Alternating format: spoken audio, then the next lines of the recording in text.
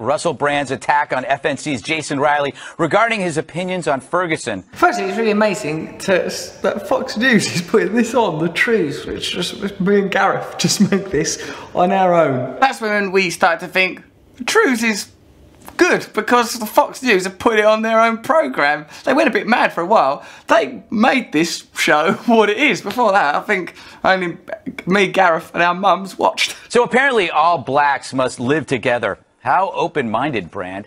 So rather than debate, Brand smears the man racially, deeming him not black enough to suit Brand's stereotype. It's really interesting because what Fox is not a news organisation. Fox is a context removal system. You know, tyranny is the removal of nuance. Take that example there. I didn't say all black people have to live together. I'm from an ordinary background. I don't have those kind of beliefs. Fox News is that. Well, say you're a cocaine dealer, and you kind of look like one a little bit. As usual, we bring them over here, and we teach a bunch of Chinamen, uh, Chinese people. Uh, what? Sorry. Oh, no, we don't do it. Oh, Nigel Farage, still keeping it going. A Hispanic male, not a black male, not a Chinese male with his eyes like this. Sean, I'm going to tell you this right now. I dealt with people like this for 20 years. They will get up every day they will kill somebody and go have some chicken at KFC. Here are some other things that I think are even more racist from Fox News. How's this?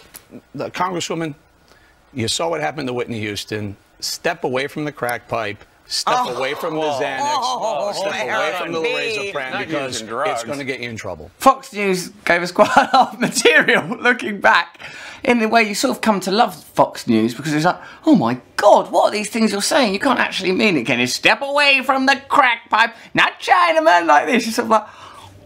No wonder, Kimberly, Katy yeah. Perry says she doesn't need a man. After marriage to Brand, who would want one? They're really taking a lot of time to do this. This is the news. Like, I've not had time to research Greg's background, and this is like a thing I'm doing like on YouTube. This is like the properly, hello, welcome to the news. Remember when you were a kid? Hello, here's the news at 10. This is the news. He's gone right now. What else has he done this best? Give Sean, uh, tell Sean Hannity I dropped by to chat to okay. him. Say Russell Brand from Trews, True News. Okay.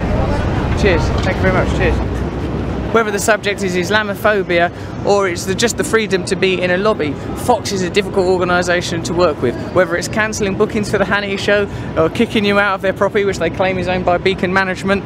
It's very difficult to have true freedom. We'll run this building one day then we'll, you know, we'll share it. Fox News gave us a Christmas present. They gave us the Christmas present of their hatred, their bigotry, their prejudice, their stupidity. Truly, they were abundantly generous to us. They helped us to create an online news platform, The Trews, for yous, Trewsers.